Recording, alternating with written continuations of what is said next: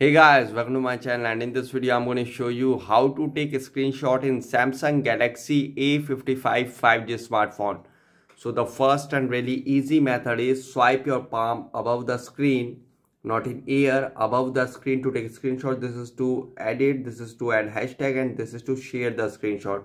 Swipe your palm above the screen like this to take a screenshot really quickly in Samsung Galaxy A55 5G smartphone. You can see just swipe your palm above the screen to take a screenshot really quickly in Samsung Galaxy A55 5G smartphone.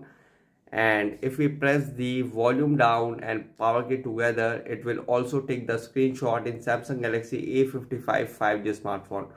Press volume down and power key together like this to take a screenshot in Samsung Galaxy A55 5G smartphone really easily and if you want to take a long screenshot here I will show you how to take it.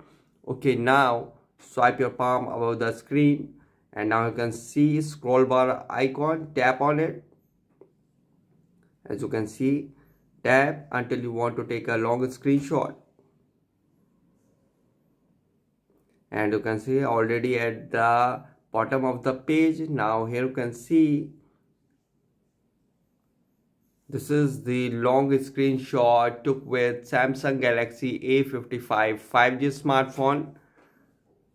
So guys, this is the method to take a screenshot in Samsung Galaxy A55 5G smartphone easily guys. Thanks for watching. If you have any query latest video, let me know in comment section below. Please like, share, subscribe and click on bell icon for the latest updates.